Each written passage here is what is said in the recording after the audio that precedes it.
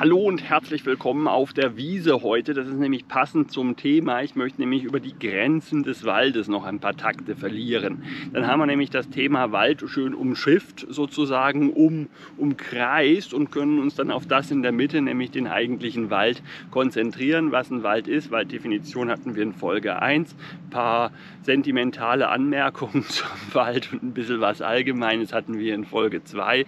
Und in Folge 3 sprechen wir jetzt über die Grenzen des Waldes. Alles, was sich jenseits dieser Grenzen befindet, ist nicht mehr Wald, äh, braucht uns also im Folgenden nicht weiter zu interessieren. Alles, was sich innerhalb dieser Grenzen befindet, das sollte uns schon interessieren, auch wenn da möglicherweise gerade kein Wald steht, beziehungsweise da momentan gerade eventuell keine Bäume wachsen. Das bringt uns nämlich zum Begriff der sogenannten physiologischen Waldgrenze, also die körperliche Waldgrenze, die in den Eigenschaften der ja, den waldbildenden Pflanzen, sprich Bäume, Bäume begründet ist.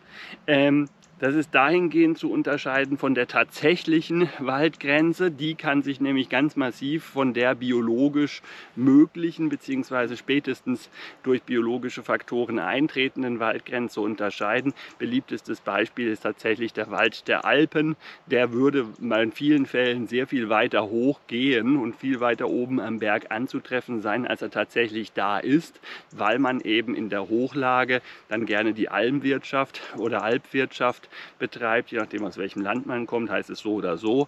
Und die Beweidung der ja, Alpen oder Almen führt einfach dazu, dass da keine Bäume wachsen können, obwohl sie, weil sie weggefressen werden. Ja, würde man die Beweidung einstellen, würde da relativ schnell auch wieder ein Wald wachsen. Deswegen haben wir es da zwar mit einer tatsächlichen Grenze des Waldes zu tun. Hier hört der Wald auf. Das ist genau wie die Wiese, auf der ich hier stehe. Hier ist auch eine tatsächliche Waldgrenze, weil der Wald nicht bis hier hoch auf die Wiese geht. Unten hinter mir ist er aber. Da hinten in der Richtung, wenn der Hügel wieder ein bisschen nach unten geht, ist er auch wieder. Das liegt einfach nicht daran, dass der Hügel so furchtbar hoch wäre, sondern einfach, weil man hier eine Wiese haben wollte und alles wegmäht, was an jungen Bäumen hier hochwachsen würde, um sich hier den Wald wiederzuholen. Ja? Also, physiologische Waldgrenze bedeutet also äh, die Grenze, die in der Körperlichkeit, physiologisch, äh, körperlich, ähm, der Pflanze begründet ist. Heißt, wenn die Pflanze wirklich aus biologischen Gründen nicht mehr mit der Umwelt klarkommt, mit den Wachstumsbedingungen, die die Umwelt vorgibt, ähm, zum Beispiel zu kalt, dann haben wir tatsächlich die physiologische Waldgrenze erreicht. So, und jetzt müssen wir noch unterscheiden zwischen einer Waldgrenze und einer Baumgrenze, denn äh, die Grenzen des Waldes sind immer, fast immer, ganz seltene Ausnahmen gibt es, da ist es nicht so, kein einfacher Strich in der Landschaft und der Wald hört auf, das sehen wir ständig. Das ist die Standardwaldgrenze, die wir in Deutschland oder anderen Kulturlandschaften erleben können. Aber die ist ja nicht physiologisch, sondern gesägt sozusagen. Ja? Äh, gesägt, gehäckselt, gemäht. Und äh, bei einer richtigen physiologischen Waldgrenze handelt es sich nicht um einen Strich mit dem Lineal gezogen, an dem man wunderbar eine gerade Kante ausrichten kann, sondern es ist ein Nachlassen der Baumhöhe, ein Nachlassen der Baumvitalität. Äh, äh, ein immer lichter werden des Waldes. Ja, immer weniger Bäume pro Fläche stehen herum und irgendwann sind so wenig Bäume, dass wir nicht mehr von einem Wald sprechen können. Wir erinnern uns an Folge 1, die ökologische Walddefinition, dass ein Wald ein Innenklima haben muss. Stehen die Bäume irgendwann nur noch ganz vereinzelt, ist dieses Innenklima nicht mehr gegeben und dann handelt es sich bloß noch um eine Baumlandschaft, aber nicht mehr um einen Wald äh, im engeren Sinne. Und dann haben wir zwar noch nicht die Baumgrenze erreicht. Einzelne Bäume können noch existieren, aber bereits die Waldgrenze. Der Unterschied ist der, ähm, dass wir uns eben sehr, sehr knapp vom physiologischen Wachstumsbereich äh, eines Waldes entfernt haben und kleinräumig, zum Beispiel vor dem Stein, dritten, Stein hinten links, ja, da mag es noch mal eine Nische geben, eine Eckchen, wo guter Boden zu finden ist, der aus irgendwelchen Gründen wärmer ist, der aus irgendwelchen Gründen nährstoffreicher ist der nasser ist, der trockener ist, je nachdem. Und auf diesem kleinen Inselchen innerhalb der ansonsten für Baumwachstum nicht mehr geeigneten Landschaft, da kann es dann auch mal klappen, dass sich da ein Bäumchen ansiedelt, aber halt eben nur eins und der nächste Nachbar ist dann ein paar hundert Meter weiter weg, wenn es sein soll.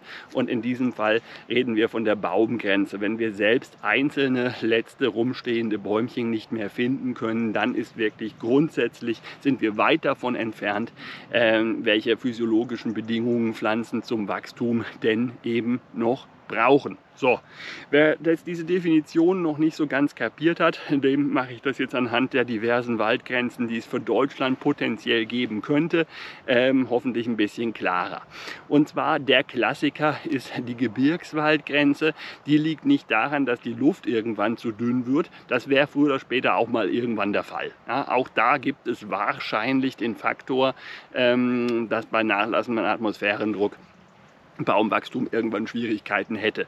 Allerdings weit früher wird es schon viel zu kalt für ein Baumwachstum, weshalb wir eine äh, höhen-luftdruckbedingte Waldgrenze nicht kennen. Die gibt es auf diesem Planeten schlicht und ergreifend nicht.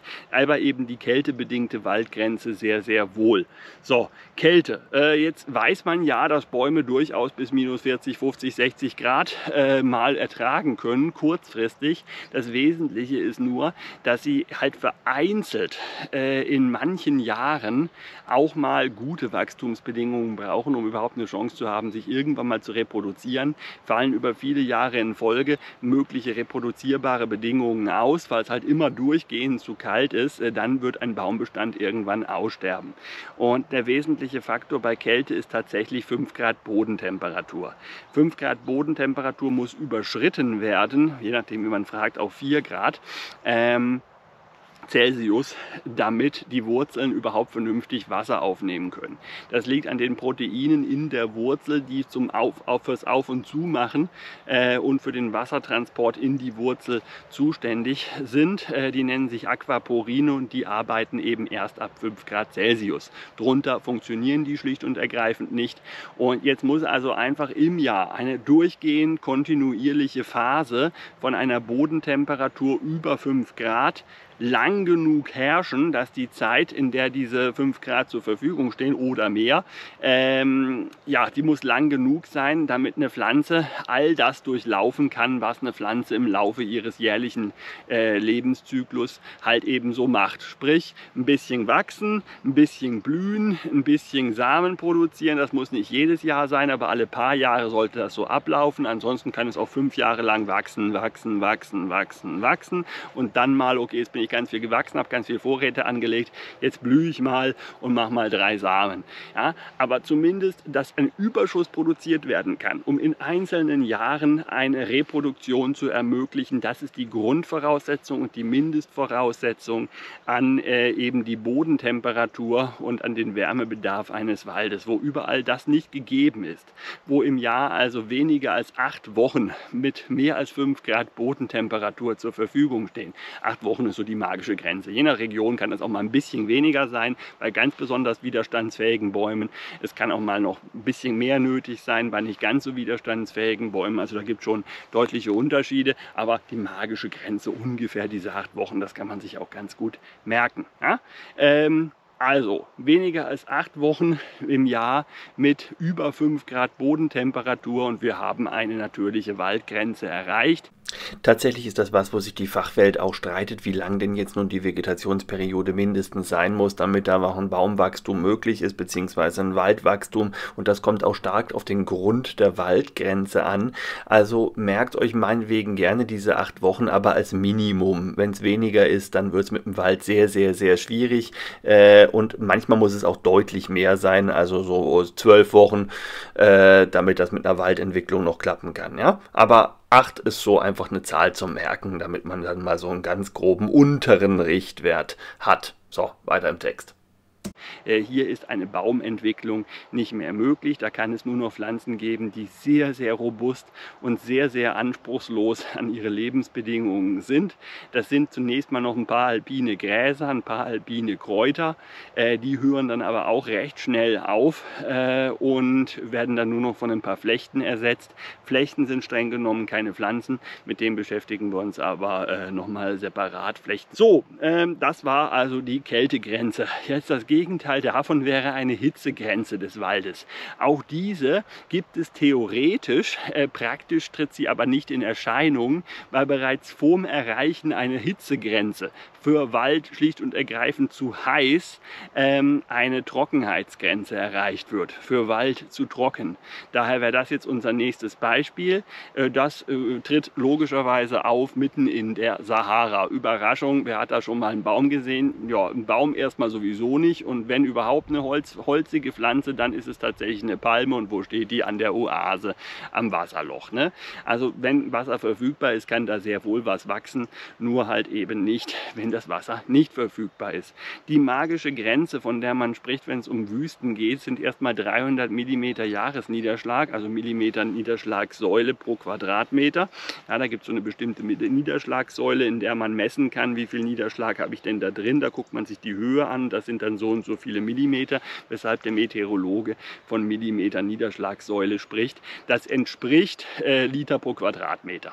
Ja, also ihr könnt euch aussuchen, ob ihr von Millimetern Niederschlagsäule oder von Metern äh, äh, Litern pro Quadratmeter reden wollt, ist im Grunde Schnurz. Ja? Aber äh, Deutschland hat bisher so um die 850, äh, 800 bis 900, je nach Region, so in den durchschnittlichen deutschen Regionen haben wir diesen Niederschlag. So, ähm, bisher zumindest in Zukunft, beziehungsweise wird das anders sein, mindestens mal anders. Wie, das weiß keiner so genau. Das ist nur sehr, sehr schwer vorhersagbar, insbesondere wenn es um regionale Klimarechnungen geht. Dann werden wir uns auch noch mal mit, ein bisschen mit auseinandersetzen müssen. Aber für Wald nötig sind die magischen 300 mm Jahresniederschlag, damit es so einen richtigen, richtigen Wald gibt. Auch das ist eine fließende Grenze. Es gibt sehr, sehr angepasste Bäume, die auch bei 250 und sogar bei 200 mm Jahresniederschlag noch wachsen können.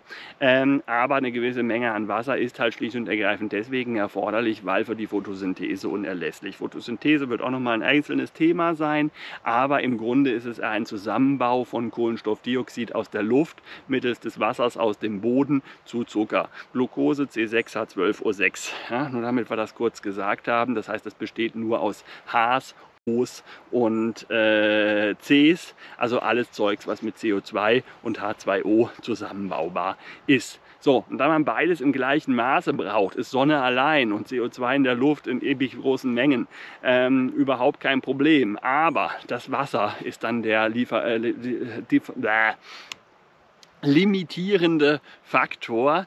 Und daran kann es dann sehr, sehr schnell mal scheitern. Und je, zu jeder größeren Wüste des Planeten hin finden wir um die Wüste drumherum, zumindest sofern die natürliche Vegetation überhaupt anwesend ist, ähm, finden wir eine immer mehr Ausdünnung der Gehölzlandschaft zu einzelnen Bäumen, sowas wie eine Savanne. Wer den König der Löwen als Kind gesehen hat, ungefähr meine Generation ist oder auch später geguckt hat, ähm, der wird Savannenbilder im Kopf haben, denke ich. Äh, ansonsten kann man das selbstverständlich auch mal kurz eben googeln. Und diese äh, ausgedehnte, hier mal ein Baum, da mal ein Baumlandschaft ist bereits eigentlich die Grenze des Waldes. Hier haben wir jetzt nämlich mit einer Baumgrenzenlandschaft zu tun. Einen richtigen Wald, physiologisch, äh, ökologisch, ein Wald mit Waldinnenklima bildet so eine Savannenlandschaft schon nicht mehr. Das heißt, da ist es bereits zu trocken. Ein einzelner Baum kann deswegen überleben, eben weil er alleine ist, weil er der größte weit und breit breit ist und alles bisschen Wasser, was bei ihm fällt, dann auch nur von ihm, von seinem riesigen Wurzelnetzwerk aufgenommen werden kann, weil die Wurzeln eben tiefer reichen als die von Konkurrenzvegetation, weshalb außer solchen einzelnen Baumriesen gar nicht so viel Vegetation, ein paar trockene Gräser ähm, anzutreffen ist. Das wäre so ein typisches Beispiel, wo wir uns gerade so an der Grenze ähm, der Wasserverfügbarkeit befinden. Und ist das Wasser dann endgültig alle, dann sind wir tatsächlich in der Wüste. Unter 300 mm Jahresniederschlag spricht man von halbwüstenartigen Zuständen. Je nach Ökosystem ist das mal mehr, mal weniger deutlich. Äh, unter 150 mm Jahresniederschlag Niederschlag, da sprechen wir dann von Wüste. Und spätestens bei diesen 150 Millilitern ist ein normales Baumwachstum, zumindest nicht für einen geschlossenen Wald, das ist dann nicht mehr möglich. Ja, wie viel Wasser braucht denn überhaupt ein Baum am Tag, ist in diesem Zusammenhang eine wichtige Fragestellung. Beispielsweise eine Eiche, die kann locker 500 Liter pro Tag raushauen. Äh, das ist natürlich sehr schnell viel mehr, als der überhaupt der Jahresniederschlag pro Quadratmeter ist. Jetzt hat so eine Eiche aber eben nicht nur einen Quadratmeter zur Verfügung, sondern einige davon, kann teilweise aufs Grundwasser zurückgreifen und so weiter. Daher ist es schwierig, aus dem Jahresniederschlag auf das wirklich verfügbare flüssigere Wasser für die Bäume zurückzuführen, aber die magische Grenze von 150 Litern Jahresniederschlag pro Quadratmeter ist schon meistens so, dass da Baumwachstum sehr, sehr, sehr, sehr schwierig werden dürfte. Wichtig ist jetzt hierbei aber auch die Verteilung des Jahresniederschlags in der Zeit, womit wir wieder bei der Vegetationsperiode wären. Wichtig ist jetzt, wie lang ist die Vegetationsperiode? Und das müssen wir jetzt im Rahmen unserer Waldgrenzen unbedingt auch nochmal ansprechen. Wir unterscheiden im Prinzip aus der botanischen Sicht zwei Zeiten im Jahr. Vegetationsperiode und Nicht-Vegetationsperiode. In der Vegetationsperiode können Pflanzen vernünftig wachsen, außerhalb davon nicht. Ja, das kann sein im Fall von Deutschland der Winter. Da ist Pflanzenwachstum nur sehr eingeschränkt für einige Spezialisten möglich. Ähm, die meisten kriegen das nicht auf die Reihe. Zumindest war es bisher so. Ne? Ähm, noch krasseres Beispiel, äh, Trockenzeit in äh, verschiedenen halbtrockenen Ökosystemen. Da haben wir eine ausgeprägte Trockenzeit. Da ist keine Vegetationsperiode und wir haben eine Regenzeit. Da ist Vegetationsperiode. Ja, in der einen Zeit Pflanzenwachstum möglich, in der anderen nicht. Diese Nicht-Vegetationsperiode muss überdauert werden und die muss, ähnlich wie bei diesen acht Wochen, die wir gerade bei der Höhen, äh, bei der Kältegrenze des Waldes angesprochen haben, die Vegetationsperiode sollte mindestens acht Wochen betragen. Egal was dafür verantwortlich ist, dass es eine Vegetations- und eine Nicht-Vegetationsperiode gibt, ob es Trockenheit ist, ob es Kälte ist, also ein Winter oder eine äh, Trockenzeit, ähm, das spielt keine Rolle. Hauptsache die Zeit, wo die gute Bedingungen herrschen, ist lang genug. Ja, das ist also ganz entscheidend für alles Waldwachstum. Und das haben wir jetzt eben auch bei der Trockengrenze des Waldes ganz, ganz ausgeprägt. Ist die Zeit mit ausreichend Niederschlag lang genug? Alles in Ordnung. Ist sie es nicht? Ja, dann Pech gehabt. Ja? Genau. Ich glaube, das ist ausreichend. Eine Temperaturgrenze des, des, Waldes wäre übrigens bei circa durchschnittlichen äh, 46 bis 47 äh, Grad Celsius äh, spätestens als Durchschnittstemperatur erreicht. Dann wird es so heiß, dass der Photosyntheseapparat äh, geschädigt wird, Blätter nicht mehr funktionieren können, die ganzen Energiestoffwechselvorgänge in Pflanzenzellen nicht mehr funktionieren können. Und äh, dann hätten wir es dann tatsächlich mit einer absoluten Temperaturgrenze zu tun, egal wie viel Wasser man da unten drunter gießt äh, unter dem Baum bei solchen Durchschnittstemperaturen, würde er in jedem Fall zumindest als Baum dann auch eingehen. So, dann haben wir jetzt noch eine zu nass Grenze für den Wald. Da muss die Vegetationsperiode, sprich die nicht überflutete und nicht zu nasse Zeit des Jahres, ähm, die muss auch wieder mindestens die besagten magischen acht Wochen betragen. Und warum ist zu viel Wasser ein Problem? Naja, jeder, der mal seine Topfpflanze äh, ersäuft hat äh, oder eine Topfpflanze ersäuft hat, wird wissen, dass Pflanzen einem das übel nehmen, wenn man ihnen zu viel Wasser gibt. Und das ist auch bei Waldpflanzen der Fall. Wenn der gesamte Wurzel Wurzelbereich, den ein Baum hat und der geht ja bekanntermaßen tief runter und muss auch tief runter. Das heißt, Wasser steht relativ schnell an der Wurzel an, beziehungsweise die Wurzel steht relativ schnell im Grundwasser drin. Ist diese Grundwassersättigung des Bodens durchgehend erhalten und der Baum steht ständig mit den Wurzeln im Wasser, dann kriegt er ein Problem, weil Wurzeln sind lebende Zellen, lebende Pflanzenzellen höherer Art und als solche brauchen sie Sauerstoff und müssen atmen. Jedes lebende Gewebe, höhere Organismus Organismen atmet. Und Atmung setzt Luft, Sauerstoff tatsächlich voraus. Ja?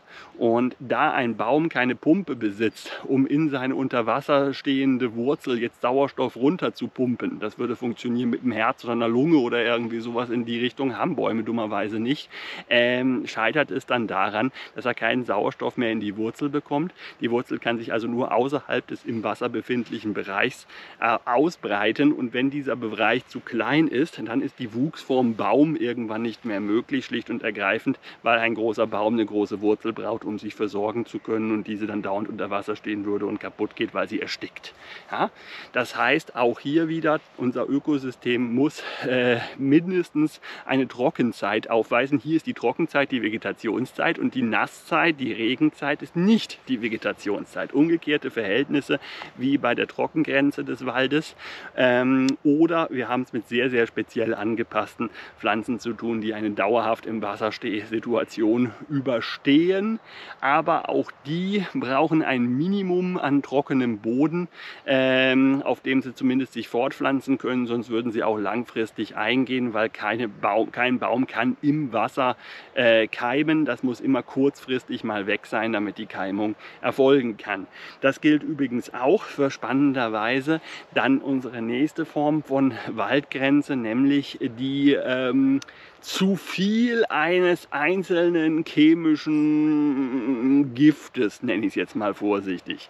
Ja, ähm, alles ist Gift, allein die Dosis macht, dass ein Ding kein Gift ist, frei nach Paracelsus und das trifft auch hierzu. Ein ganz beliebtes Beispiel ist nämlich eben die Salzwassergrenze des Waldes. Kommt ein Wald zu nah ans Salzwasser, ist irgendwann vorbei. Mit Salzwasser kann er nichts anfangen. Das gilt für die allermeisten Pflanzen. Natriumchlorid, ja, also das Salz im Salzwasser, führt eben dazu, dass bestimmten Pflanzenteilen Wasser entzogen wird und da eingelagert wird, wo sich eben auch das Natriumchlorid befindet. Das heißt, ein kleines bisschen Natriumchlorid kann eine Pflanze aufnehmen, in der Zellsaftvakuole speichern. Die saugt dann sämtliches Wasser an sich. Solange noch genügend anderes Wasser da ist, ist das kein Problem. Kommt aber immer neues Natriumchlorid dazu und es wird immer mehr und immer mehr und irgendwann ist die Vakuole voll und es kann nirgendwo mehr gelagert werden.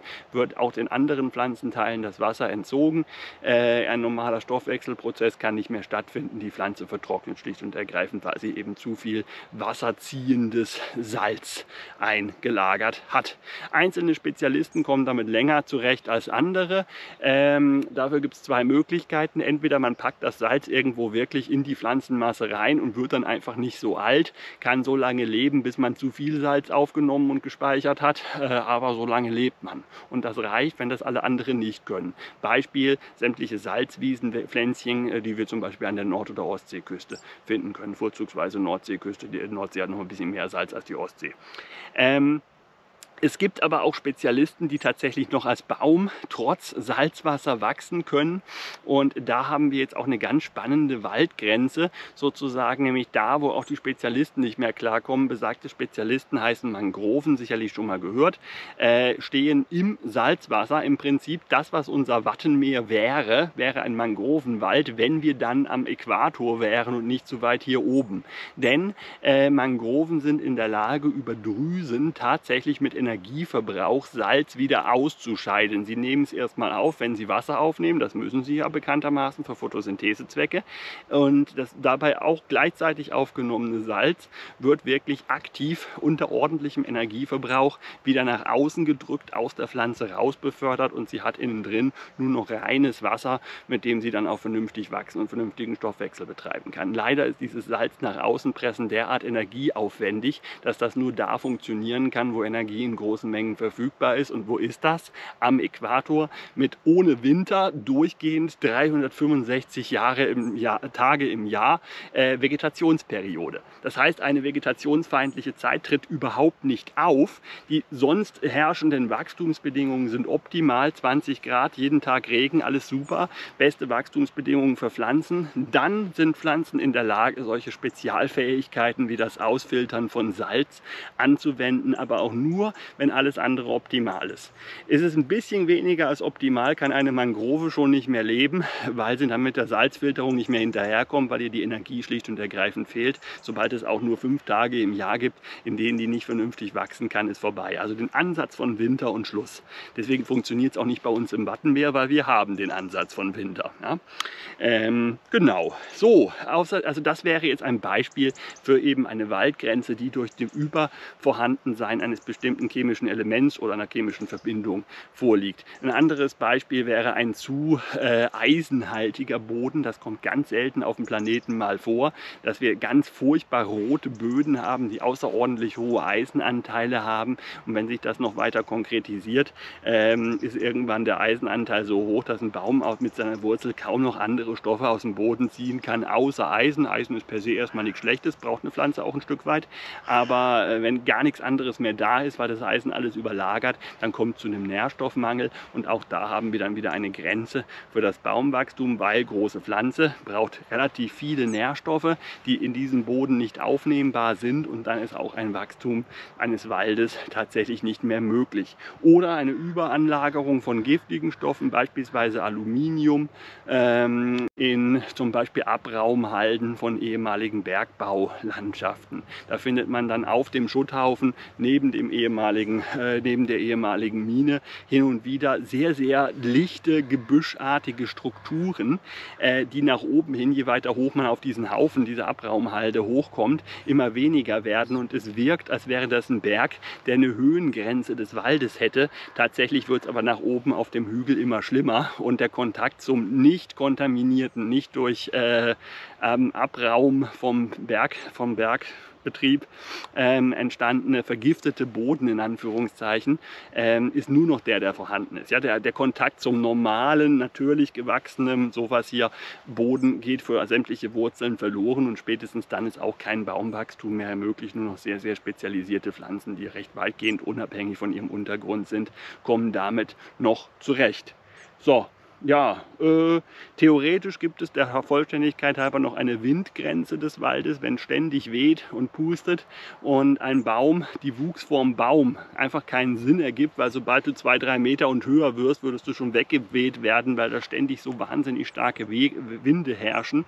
Ganz seltene Beispiele, wo ein solches, eine solche Waldgrenze vorherrscht. Mein Vegetationsökologie-Professor ging davon aus, das sei auf dem Grand Ballon in den Vogesen der Fall. Ich habe es mir angesehen gesehen und ich stimme ihm voll und ganz zu. Je länger ich darüber nachdenke, desto mehr bin ich seiner Meinung, dass es da wirklich derart windig zugeht, dass wir witzigerweise auf der Seite, wo der Wind kommt, keine Bäume haben und sobald wir über den Kamm drüber sind und eine windstille Ecke oder windgeschütztere Ecke entsteht, gibt es wieder Bäume.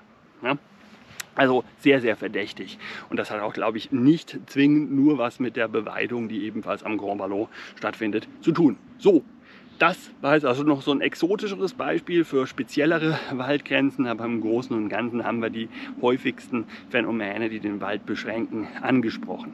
Befinden wir uns also im Durchschnitt, heißt in einer Landschaft, die einigermaßen feucht ist, einigermaßen warm ist, weder zu warm noch zu kalt. Es sind keine deutlichen Anlagerungen von Zeugs im Bogen, das da nicht reingehört, beziehungsweise das für Pflanzen halt irgendwann ein Problem wird. Und, das habe ich vergessen zu erwähnen, auch auch ein Mangel an Nährstoffen im Boden kann natürlich dafür sorgen, dass ein Waldwachstum nicht mehr möglich ist. Das ist dann der Fall, wenn wir es mit sehr, sehr jungen Böden zu tun haben, die gerade erst entstanden sind, sprich frische Lava, gerade erst erkaltet, da hat sich noch kein Boden gebildet oder alternativ eine Fläche, die bis vor kurzem noch vom ewigen Eis bedeckt gewesen ist, das nicht mehr ganz so ewig ist, das Eis ist zurückgegangen, ein bisschen Fels kam zum Vorschein, auch auf diesem gerade frisch freigelegten Fels nach äh, Jahrhunderttausenden zum ersten Mal freigelegten Fels, ähm, da ist auch erstmal keine Waldwachstum zu erwarten. Ne? Das ist eine Frage der Zeit. Irgendwann entwickelt sich da ein Boden, wo der Wald wieder wachsen kann. Und das solltet ihr bitte noch als Quintessenz des Ganzen mitgenommen haben. Grenzen des Waldes sind dynamisch, die verändern sich auch. Die verändern sich am Berg nach oben, die verändern sich bei der Wüste nach außen. Wüsten breiten sich aus. Am Berg darf man dafür weiter hoch als Baum.